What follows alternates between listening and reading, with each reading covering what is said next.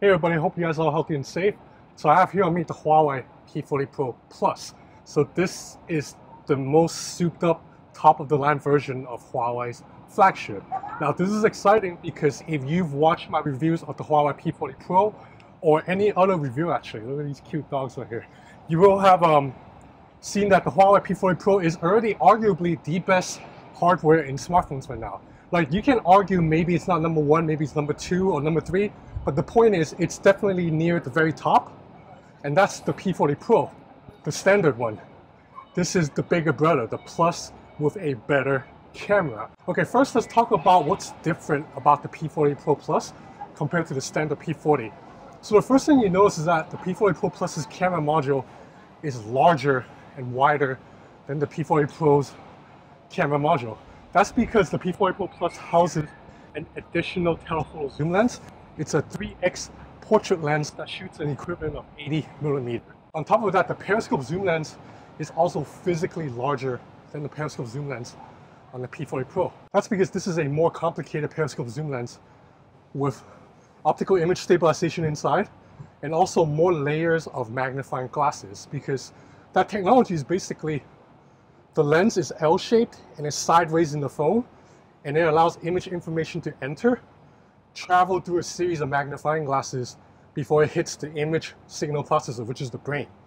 So the P40 Pro Plus has a larger sensor with more magnifying glasses in between to allow for a better zoom. So long story short, the periscope zoom lens on the P40 Pro Plus is capable of shooting 10x optical zoom. That's lossless 10x.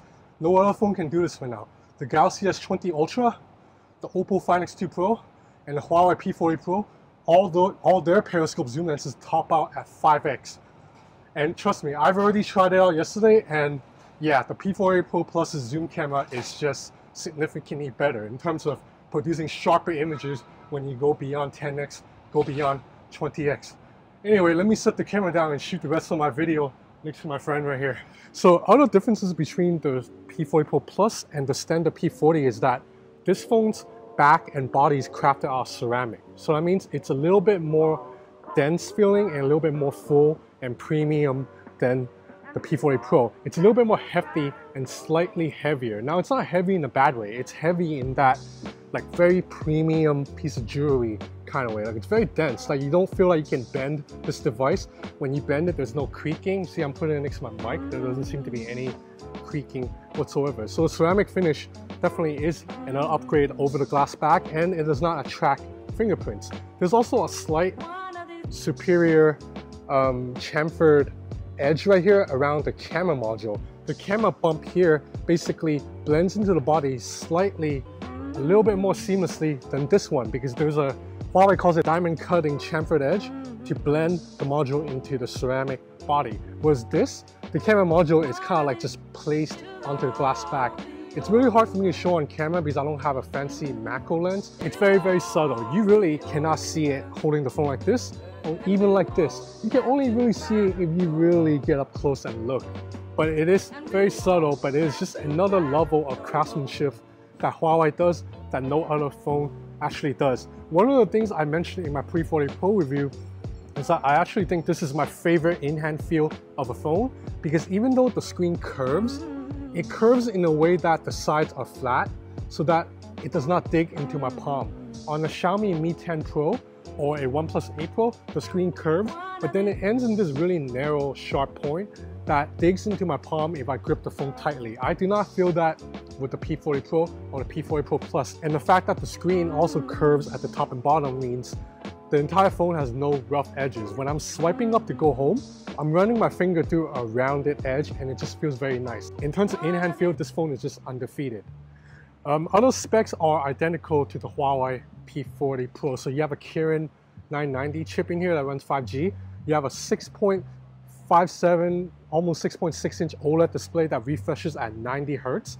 Curves on all four sides very aesthetically pleasing. All right, now let's look closer at the cameras of the P40 Pro Plus. So up top, it's a 40 megapixel ultra wide angle camera. So this is the same ultra wide camera seen in the Huawei P40 Pro and very similar to the one used in the Huawei Mate 30 Pro. So that means the field of vision is not as wide as say on an iPhone 11 Pro or Samsung Galaxy S20 Ultra, but in return, you get a lot more details in your shot because it's a 40 megapixel sensor and it does not have to spread across such a wide field of vision. This is, um, Huawei calls it Cine lens, and it's actually built for video recording. When you go into video recording mode, the recording defaults to shooting at the wide angle camera, unlike other phones which defaults to shooting the 1x camera. So one thing I've noticed is that this is really good as a vlogging camera because this is a wide angle camera and the quality is really high.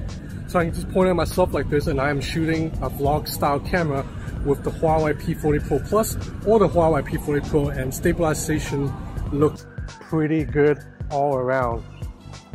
So right here, it's that 50 megapixel main camera RYYB sensor, arguably the best main camera on the market. It can basically see in the dark. Right here is that periscope zoom lens that I just explained to you earlier.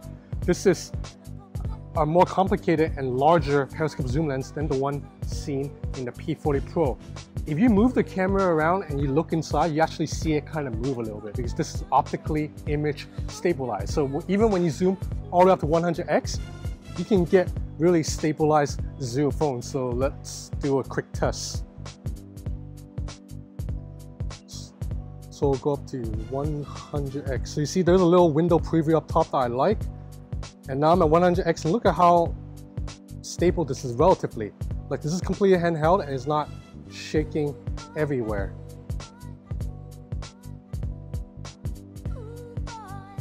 I can even read these words right here. So up here is that new telephoto zoom lens that gives you 3x optical zoom. It's an 80 millimeter lens, it's an 8 megapixel sensor, and it's perfect for portraits. As you can see here, you just have to tap 3x and it immediately zooms in and it's almost like you're taking pictures in portrait mode with a little bit of a depth of field in the background. That's quite natural. And finally, right here, we have a TOF sensor, time of flight. So this is basically a 3D sensor it allows the camera to tell the, the difference between a subject and a background. On this camera, it's on point in all the portrait shots. And unlike the iPhone, you can use it on inanimate objects too. So the combination of the improved periscope lens and the 3x lens basically covers the entire focal length that you would need to cover. For example, you know the periscope zoom lens is only meant for shooting 5x or above, right? On a Galaxy S20 Ultra or Oppo Find X2 Pro, the periscope zoom lens does not kick in until you go to 5x. When you're shooting 2x or 3x, you're basically using the main camera doing digital crop.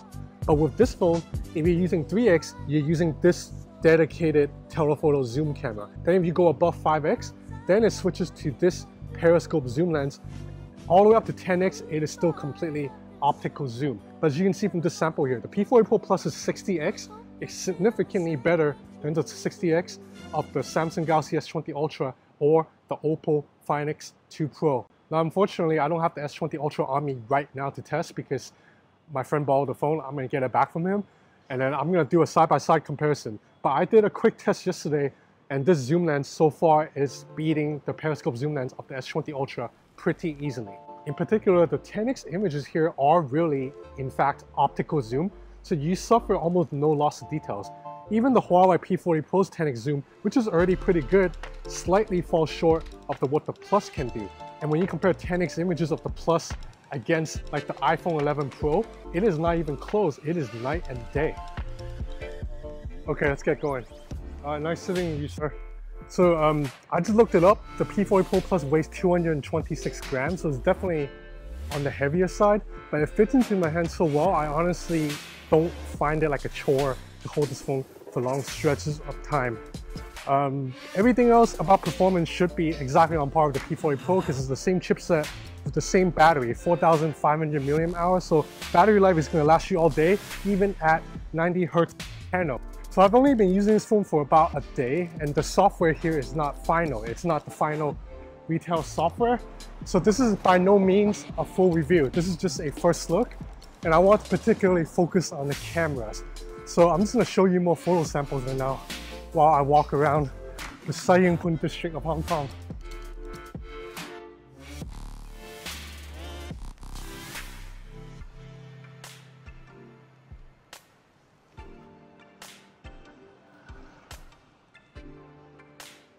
we might as well test the video performance too.